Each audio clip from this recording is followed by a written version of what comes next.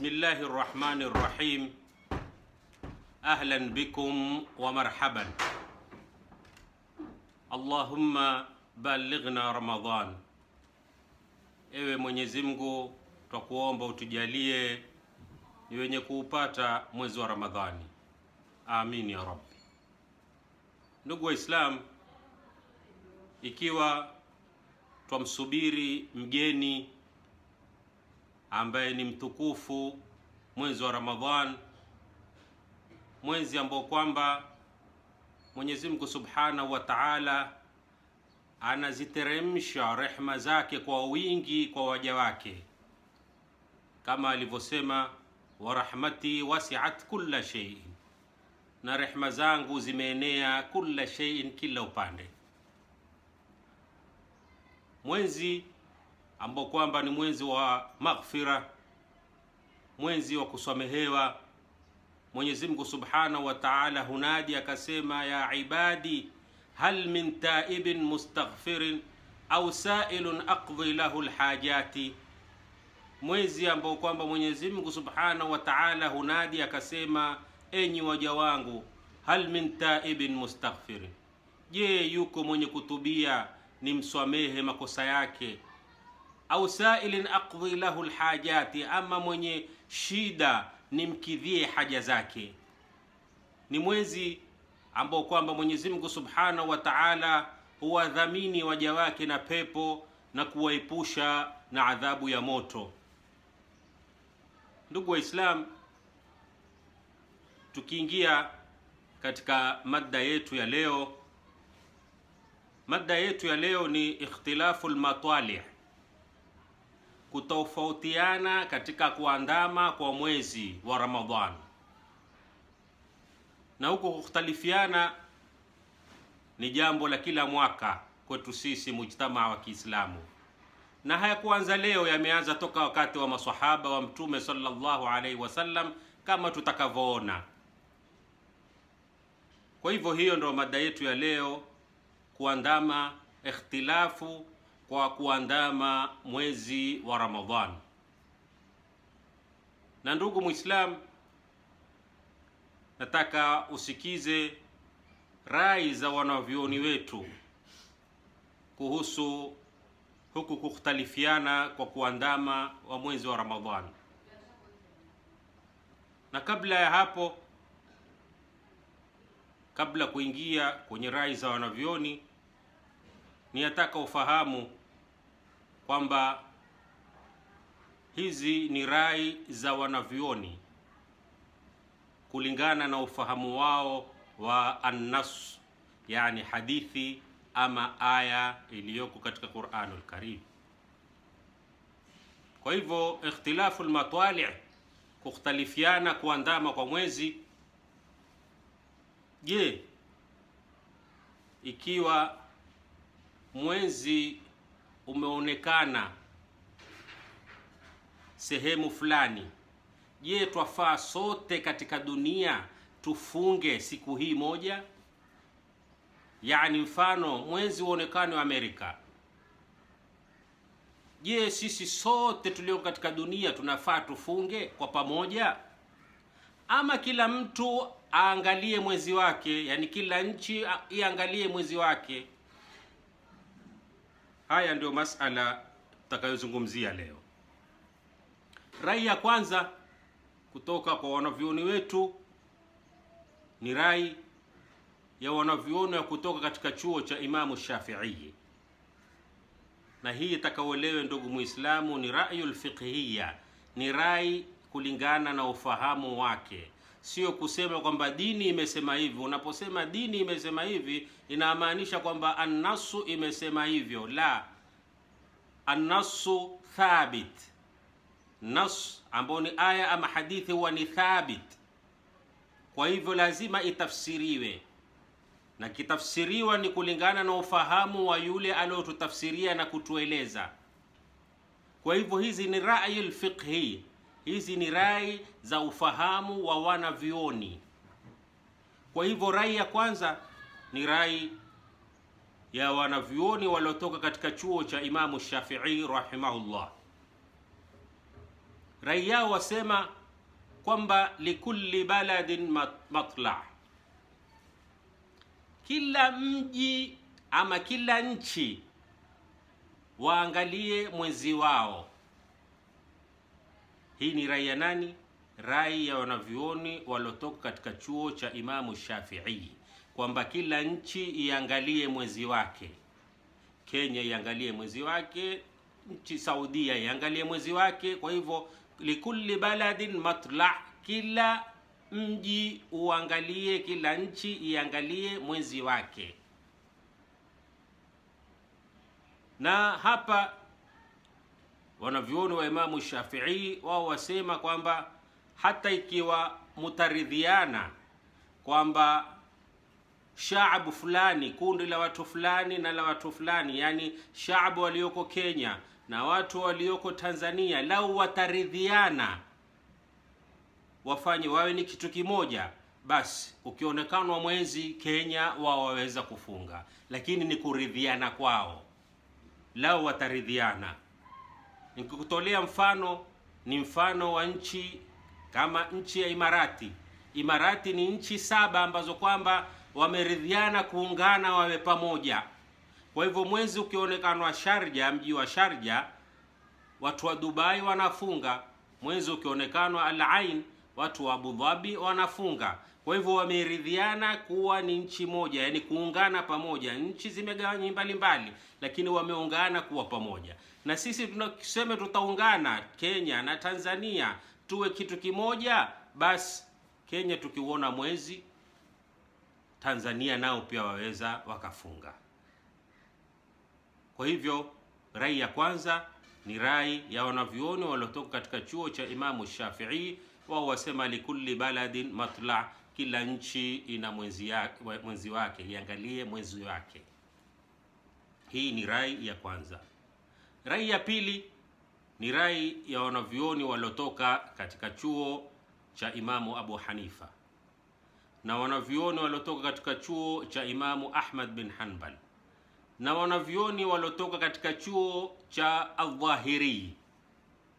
Chuo cha Aldhahiri ni chuo ambao shekhe lao ni Alimamu Daud bin Ali. Huyu Alimamu Daud bin Ali alikufa mwaka wa mia mbili na sabini hijiria, alafu akaja akashikilia kwenye chuo kama hicho Ibn Ibnu Hazmi Dhahiri.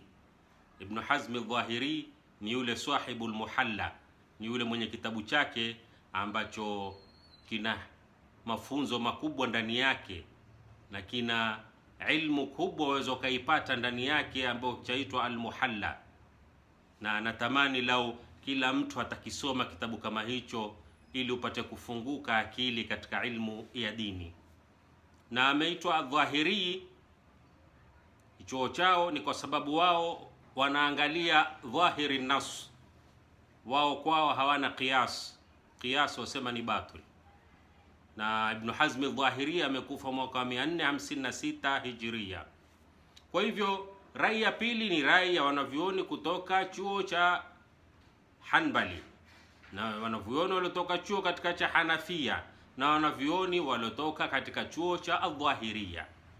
Wao wasema lau mwezi utaonekanwa nchi yoyote katika ulimwengu, nchi yoyote iwe ni Amerika, iwe ni Saudia, iwe ni Kenya, basi itawalazimu Waislamu walioko ulimwengu wote wafunge siku hiyo. Yaani lao mwezi utaonekana Kenya, basi dunia nzima, Waislamu walioko dunia nzima lazima wafunge. Nani alosema maneno kama haya? Alosema maneno kama haya ni wanavyuoni wa Hanafia na wanavyuoni wa Hanabila na wanavyuoni wa Adhahiri. Rai ya tatu ni rai ya Maliki, wanavyuoni waliotoka katika chuo cha Imam Malik. Wao wasema kwamba bimuqarabati biladin wa tabauda wao wanasema kwamba ni kwa kurubi, kukurubiana miji yani miji jirani, watabauda yani kukurubiana miji, wao watakuwa wenye kufunga siku moja, yani miji ikiwa imekurubiana. watabauda, na miji ambayo kwamba iliko mbali, wao wataangalia mwezi wao. Hizi ni rai tatu za wanavyuoni. Sasa tuangalie dalili zao, kila mmoja tuangalie dalili yake nini. Tuanze na rai ya kwanza ya wanavyuoni waliotoka chuo cha Imamu Shafii. Wao wanasema likulli baladin matla, kila nchi iangalie mwezi wake. Dalili yao nini? Dalili yao ni hadithi iliyoko kwenye Sahihi Muslim ambao maarufu yaitwa hadithi Kureib. Ummu Haritha alimtuma huyu kuraib alimtuma mji wa Sham kwenda kwa Muawiya. Baada ya kumaliza haja zake, Kuraib akarudi Madina. Aliporudi Madina ilikuwa ni katikati ya Ramadhan, akakutana na Abdullah ibn Abbas radhiallahu anhuma. Alipokutana naye, Ibnu Abbas amwambia mata raaitumul hilal, muliuona lini mwezi? Kureib akamwambia raaina lhilal lailat ljuma, akaambia sisi tuliona mwezi usiku wa siku ya usiku wa Ijumaa, yani siku ya Alhamisi kuamkia Ijumaa. Ibnu Abbas akamwambia Kureibi, uliuona? Akamwambia yeye niliuona, na Muawiya pia aliuona. Faswamu nnas waswama Muawiya, watu wakafunga na Muawiya naye akafunga. Muawiya bnu Abi Sufyan radhiyallahu anhu. Ibnu Abbas akamwambia walakinna huna fi lmadina ma raainahu illa lailata sabt, akamwambia lakini sisi hapa mji wa Madina sisi hatukuona mwezi isipokuwa ule usiku wa Jumamosi. yaani usiku wa Jumamosi, na maana ni kwamba Ijumaa usiku waliuona mwezi. Kwa hivyo wale Washamu waliuona usiku wa Ijumaa ambao ni Alhamisi, wakaanza Ijumaa, na hawa walioko Madina wao wakaanza Jumamosi. Kureib akamwambia ala takfika ru'yata Muawiya, je, haukutoshelezi wewe kwamba Muawiya kuona kwa Muawiya? Ibnu Abbas akamwambia la, hakadha amarana Rasulullahi sallallahu alaihi wasallam, akamwambia la, hivi ndivyo alivyotuamrisha Mtume sallallahu alaihi wasallam, waqala sumu liruyatihi wa aftiru liruyatihi, na Mtume akasema sumu liruyatihi, fungeni kwa kuuona huo mwezi, wa aftiru liruyatihi, na mufungue kwa kuuona huo mwezi. Kwa hivyo Ibnu Abbasi hadithi ya Mtume sallallahu alayhi wasallam, yeye ameelewa sumu biruyatihi. Hili ni khitabu kwa jamaa, liljamaa, kwa kundi ambalo kwamba ni wale wa mji wa Madina. Yani Mtume alipokuwa yakusudia kusema sumu liruyatihi, fungeni kwa kuona, yani fungeni nyinyi jamaa ambao kama ni wa Madina, sio kwamba ni ulimwengu mzima, azungumzia kwa khitabu ya ulimwengu mzima la, ama ya Waislamu wote la. Huu ni ufahamu wa Abdullah ibn Abbas. Abdullah ibn Abbas amefahamu kwamba sumu liruyatihi khitabu liljamaa, ni khitabu ya jamaa. Rai ya pili ni rai ya wanavyoni wa kutoka chuo cha Imamu Ahmad bin Hanbal na Hanafia na chuo cha Adhahiri, hawa walosema kwamba anayeona mwezi kokote Waislamu wote ni lazima wafunge, tulzamu likulli lmuslimin ala lardi, imewalazimu kwa kila Muislamu katika ardhi kufunga. Wao dalili yao nini? Dalili yao wasema katika hadithi iliyopokewa na Muslim an Abi Huraira qala Rasulullah sallallahu alayhi wasallam sumu liruyatihi wa aftiru liruyatihi fa in ughmiya alaykum fa atimmu 30. Mtume sallallahu alaihi wasallam asema kwenye hadithi yake, sumu liruyatihi, fungeni kwa kuona huu mwezi, wa aftiru liruyatihi, na mufungue kwa kuona huu mwezi. Kwa hivyo hawa wasema dalili yao kwamba Mtume sallallahu alaihi wasallam khitabu likulli lmuslimina ala lardhi hii khitabu sumu liruyatihi, fungeni, yani fungeni. Mwenyezi Mtume alipokuwa anasema sumu liruyatihi, yakusudia Waislamu walioko ulimwengu mzima. Kwa hivyo sumu liruyatihi, fungeni liruyatihi, kwa kuona ule mwezi, yani fungeni Waislamu nyote mulioko duniani kwa kuona ule mwezi, na mufungue Waislamu nyote duniani kwa kuona ule mwezi. Huu ni ufahamu wao walivyofahamu. Rai ya tatu ni rai yale wale wanaosema kwamba bimuqarabati lbiladi wa tabauda. Bimuqarabati lbiladi ni yani sumu liruyatihi. Hawa wanasema kwamba sumu liruyatihi ni bimuqarabati lbiladi, yani ile miji ilokaribiana. Kwa hivyo wamaanisha ile miji ilokaribiana, wamaanisha kwamba lau itakuwa nchi mfano Kenya na Saudia usiku ni mmoja na mchana ni mmoja, basi hao ni qurba albiladi. Hiyo ni miji ambayo kwamba iliyoko karibu. Sumu liruyatihi, yani fungeni kwa kuona, yani kwa ile miji ambayo kwamba ilo karibu, yani mji ambao kwamba usiku ni mmoja, yani wao wakiwa ni usiku na nyinyi usiku, basi hao sumu liruyatihi, wakiuona mwezi nchi yoyote, ikiwa ni Saudia, Saudia na sisi usiku ni mmoja. Kwa hivyo Saudia wakiuona sisi tuweza kufunga, ama sisi tukiuona wao waweza kufunga. Watabauda, wale walioko mbali, wale mwezi wataangalia wenyewe, kama Amerika. Amerika sisi ikiwa ni usiku kwao huwa ni mchana na kule kukiwa mchana huku ni usiku. Kwa hivyo wao mwezi wataangalia kando, hawawezi kufuata mwezi wetu. Kwa hivyo, ndugu Waislamu, hizi ni dalili tatu. Dalili ya kwanza inakwambia kwamba likulli baladin matla, kila nchi iangalie mwezi wake, na tumeona dalili yao. Na rai ya pili wasema kwamba swaumu, mwezi ukionekana nchi yoyote katika dunia tuwe ni wenye kufuata na tumeiona rai yao. Wao wanasema hapa khitabu ya Mwenyezi Mungu ya Mtume sallallahu alaihi wasallam, sumu liruyatihi, ni kwa walimwengu wote, Waislamu wote walioko ulimwenguni.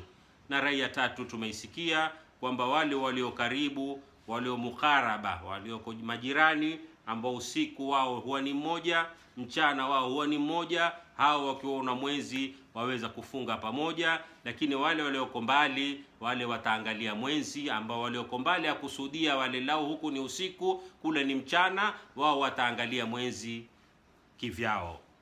Ndugu Waislamu, hizi ndio rai tatu za wanavyoni, na haina haja ya kwamba sisi tuwe wenye chuki, iwe huyu yamwombea mwenzake, sisi ndio tuko sawa, nyinyi mmefunga njaa. Haina haja hizi zote ni rai za wanavyoni, na rai yoyote utakayofuata umepata. Rai zote hizi tatu ziko sawa. Kwa hivyo hakuna neno, fuata rai bila kuaibishana na bila ya kutoleana maneno. wa ila huna wa ila liqain akhar biidhnillah. Wassalamu alaikum warahmatullahi taala wabarakatuh.